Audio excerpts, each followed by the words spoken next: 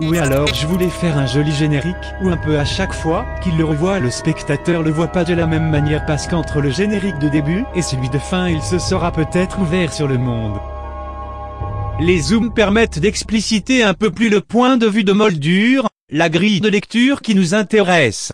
En gros, on parle des autres épisodes pour relativiser. Donc aujourd'hui, on va voir pourquoi il y a, pour nous, deux types de questions, il y a les questions entonnoirs. Typiquement, comment faire décoller une fusée? Si tu réponds 100% à la question, ça t'amène à une manière de voir le problème, tu calcules tout et tu testes. Pas de secret. Après tu peux être bloqué à un paquet d'étapes, ou avoir des pièces d'une marque différente que la fusée de ton voisin. Mais t'as capté, l'entonnoir te mène droit vers la vérité, sans possibilité de dévier.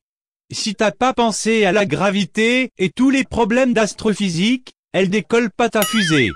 Schématiquement il y a une manière d'atteindre la réponse, le bout de l'entonnoir.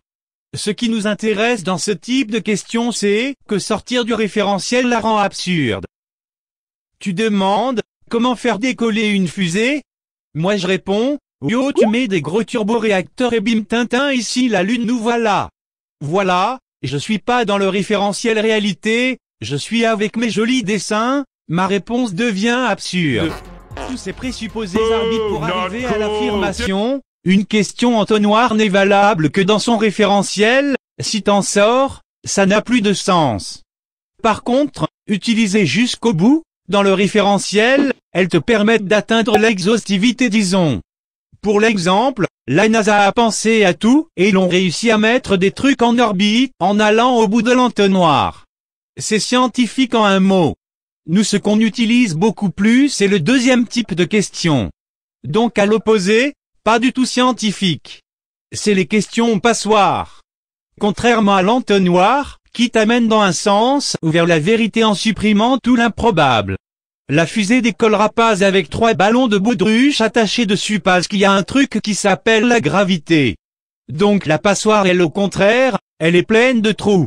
Typiquement, tu la regardes de manière 100% rationnelle. La question passoire c'est complètement n'importe quoi. En un sens tu peux jamais la contenir, mais en même temps et surtout elle fuit de partout. Vous voulez un exemple? Go épisode 8 si tu regardes le premier résumé, tu peux trouver ça chouette. Si tu te renseignes ou que tu lis l'œuvre, tu te rends compte que c'est écrit comme une fiction. Mais qu'en même temps l'auteur affirme à chaque introduction qu'il a vécu tous les trucs tarés dont il parle. Je pourrais développer, mais on va y aller tranquille. Tout ce qui compte ici, c'est que si tu vois cette œuvre avec l'entonnoir, effectivement elle n'a aucun intérêt parce que c'est complètement surréaliste. Du coup schéma de pensée, c'est pas possible donc rien de bon à m'apporter. Avec la passoire, tu vois bien que ça fuit de partout, mais tu regardes quand même pour l'ovni spirituel que ça représente.